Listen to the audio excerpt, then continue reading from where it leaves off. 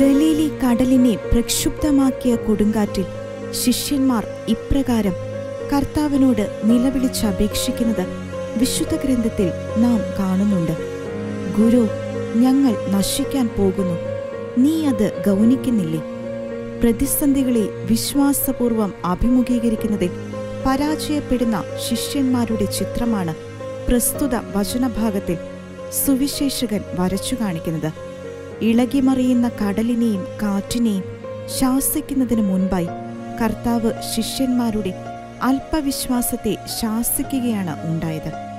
ശേഷം അടങ്ങുക ശാന്തമാകുക എന്ന വചനം കൊണ്ട് പ്രക്ഷുബ്ധമായ കടലിനെ അവിടുന്ന് പ്രശാന്തതയുടെ തടാകമാക്കി.